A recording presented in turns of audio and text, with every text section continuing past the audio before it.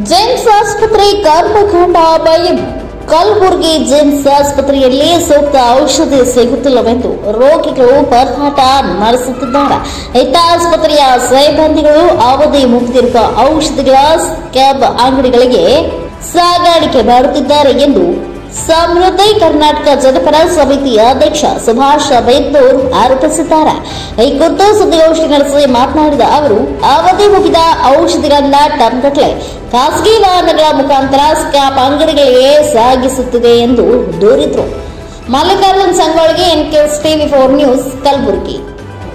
ಅಲ್ಲಿ ಕೊಟ್ಟಿವಿ ಹೇಳಿ ಅದನ್ನ ಸ್ಕ್ರ್ಯಾಪ್ಗಳಿಗೆ ಇವತ್ತು ಔಷಧಿಗಳನ್ನ ಅನ್ಸ್ಕೊಂಡು ವಿತರಣೆ ಮಾಡಿದ್ದಾರೆ.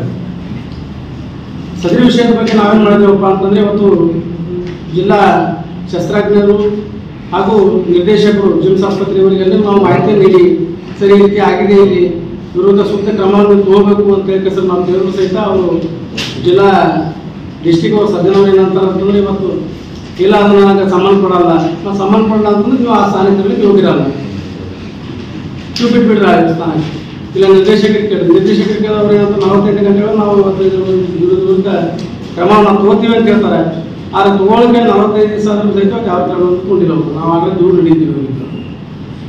ಇದೇ ರೀತಿ ಆದಾಗ ಇವರು ಯಾವ ದಿವಸಕ್ಕೆ ಆಪ್ ಮೆಡಿಷನ್ನ ಹ್ಯಾಂಗ್ ಕಳಿಸ್ತಾರೆ ಅಂತ ಹೇಳಿ ಸರ್ ನಾವು ಅವತ್ತು ವಿಡಿಯೋ ಚಿತ್ರೀಕರಣ ಸಹಿತ ನಾವು ಮಾಡ್ಕೊಂಡಿದ್ವಿ ಏನಕ್ಕೆ ಅಂದ್ರೆ ಯಶಸ್ವಿ ಮೆಡಿಷನ್ ಸ್ಕ್ಯಾಪ್ ಆಯಿತು ಯಾಕೆ ಇವತ್ತು ಅವಧಿ ಎಷ್ಟು ಮೇಲ್ಕು ಅಂತ ಹೇಳಿ ಇವತ್ತು ಎರಡರಿಂದ ಮೂರು ಲಾರಿ ಟನ್ ಟನ್ಗಟ್ಟಲೆ ಇವತ್ತು ಔಷಧಿಗಳನ್ನ ಏನು ಮಾಡ್ತಾರೆ ಅಂತಂದ್ರೆ ಇವತ್ತು ಕಪ್ನೂರ್ ಹತ್ರ ಒಂದು ಸ್ಕ್ರ್ಯಾಪ್ ಅಂಗಡಿ ಒಂದು ಗೋದಾಮಿದೆ ಅಲ್ಲಿ ಹೋಗಿದ್ರೆ ಆ ಸ್ಕ್ರ್ಯಾಪಿಗೆ ಹಾಕಿದ್ರೆ ಅವರಿಂದ ಅವರು ದುಡ್ಡನ್ನು ಹಚ್ಕೊಂಡು ಇವತ್ತು ಸರ್ಕಾರಕ್ಕೆ ಬೊಕ್ಕಸಕ್ಕೂ ನಷ್ಟ ಮಾಡಿಕೊಂಡು ತಮ್ಮ ಲಾಭವನ್ನು ತಾವು ಇವತ್ತು ಫಾರ್ಮಸಿಸ್ಟ್ ಅಧಿಕಾರಿಗಳು ಇವತ್ತು ಅಲ್ಲಿ ಸರ್ಕಾರ ಜಿಲ್ಲಾಸ್ಪತ್ರೆಯಲ್ಲಿ ಮಾಡ್ತಾ ಇದ್ದಾರೆ ಇವರು. ಇದರ ಬಗ್ಗೆ ನಾವು ಈಗ ಇದ್ರ ಬಗ್ಗೆ ನಾವು ಇಷ್ಟು ಬಯೋಕೆಮಿಕಲ್ ಮ್ಯಾನೇಜ್ಮೆಂಟ್ ಇರುತ್ತಲ್ಲ ಬೃಂದಾವನ ಫೌಂಡೇಶನ್ ಅಂತ